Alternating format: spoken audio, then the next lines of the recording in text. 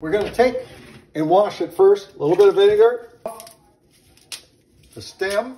Do not use this big part because that's what makes it bitter. Wash. Rinse with cold water. Cut it off real quick. Few spins. The easiest way I find to chop it up is I roll it together. And really good olive oil.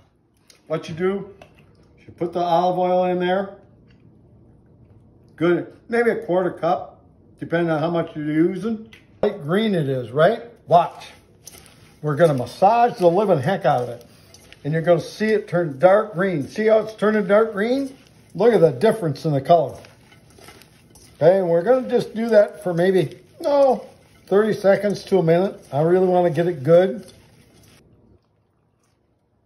OMG, is that good?